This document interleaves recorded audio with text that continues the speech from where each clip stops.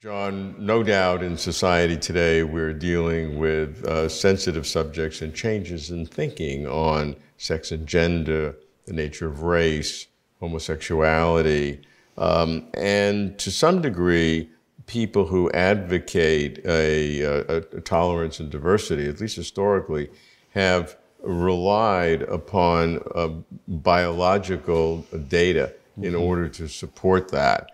Um, and I, I, from your perspective, uh, uh, I, I, think while you agree with the conclusion and, and what we should practice uh, as a normative practice among human beings, uh, that there's a potential danger of relying upon the genetics, even though the people who do that want to use the genetics to prove their case.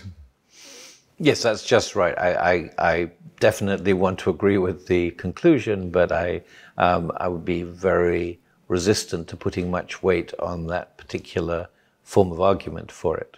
I don't think that we should try and base that on anything much to do with genetics.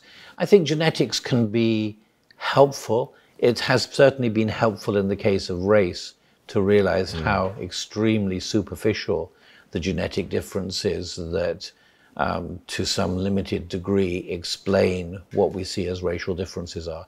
I certainly think that's a case where um, where we should um, you know, we can we can we can give a nod to genetics as having mm-hmm. helped the argument. Um, but of course, I don't think that had it turned out that there was bigger differences between um, between the races in genetic terms, we'd have been all right to go on being racists. and I think this is, in a sense, the problem.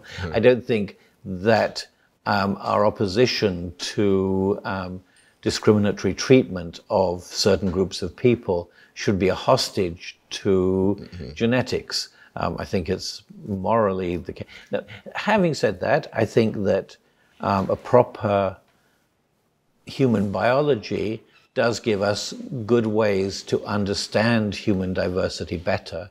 Um, for example, um, to look at the, the, I mean, the general perspective on gender and sexuality points us, as opposed to a traditional view of a very dichotomous development, to a very diverse set of developmental processes, and the fact that the, the, the preferences of people for sexual partners ends up with diversity should be absolutely no surprise to us, and mm. therefore um, certainly no grounds for treating some people as inferior.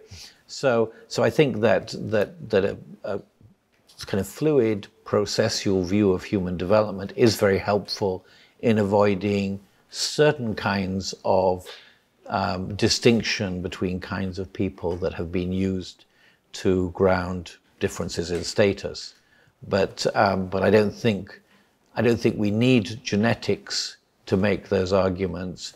I think they can have some rhetorical value in some cases, um, but I think that, that the problem with that is is that we certainly don't want to um, to have our our opposition to discrimination between different kinds of people, a hostage to what geneticists tell us, mm. um, which I think is, a, is you know, potentially a danger of putting a great deal of weight on um, the findings of genetics. I mean, certainly, if we found, as I'm sure we now have realized we never will, but if we found the gene for homosexuality, the gay gene mm-hmm. that people were looking for for a mm-hmm. while, um, this would make absolutely no difference to how we should treat um, gay people. Of course, uh, this is this has been constantly debated. When I was in my early philosophical career, there was a big switch from people who, from on the whole, gay activists saying uh, we should be entitled to our sexual preferences, to a a kind of hostile right wing response to that, saying we should oppose um, um, immoral lifestyle choices. Mm to gay people saying, no, it's not a preference, it's an orientation. Um, and of course, it's not a preference in the sense that it's experienced by gay people as a choice. It's experienced as, some, as a developmental outcome.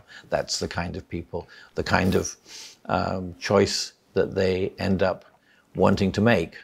Um, but but again, the role of genetics in this seems to me to be, um, you know, if it, if it may sometimes have some rhetorical force, but is of very little ultimate importance.